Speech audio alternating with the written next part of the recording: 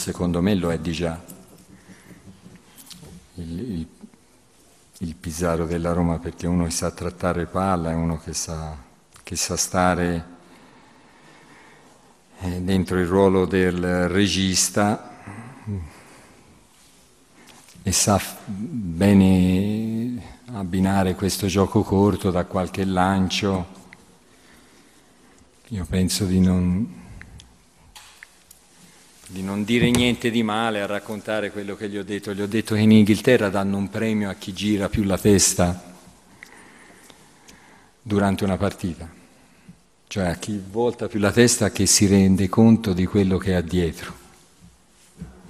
E gli ho detto se lo fanno in Italia te non, non tu lo vinci, e ci devi guardare di più. gli ho detto questo. E perché quella del vedere dove non guardo è una, car- una caratteristica fondamentale nel calcio, vedere un po' al contrario.